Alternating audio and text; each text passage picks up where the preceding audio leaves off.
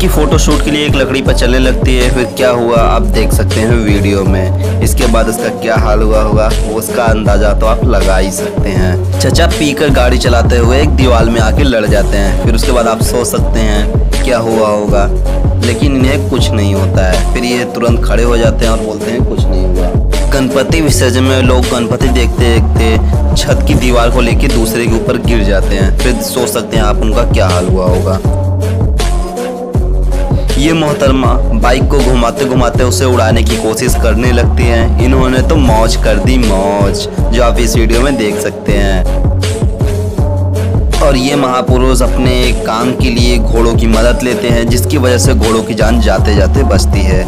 तो ये स्टंट करने के चक्कर में अपना सिर फुड़वा बैठती हैं। ये स्केटिंग करते करते ही एक दूसरे के ऊपर गिर जाते हैं और जिसकी वजह से अपना सर फोड़ लेते हैं। ये महापुरुष तो खतरों के खिलाड़ी बन जाते हैं, एक ट्रेन के आगे ही सो जाते हैं और इनका साथी भी इनको चेयर अप करता रहता है और वीडियो बनाता रहता है। जब ट्रेन जाती है तो उसके बाद ये इतनी खुशी ज़ाहिर करते हैं जैसे कि इन्होंने वर्ल्ड वॉर जीत लिया हो।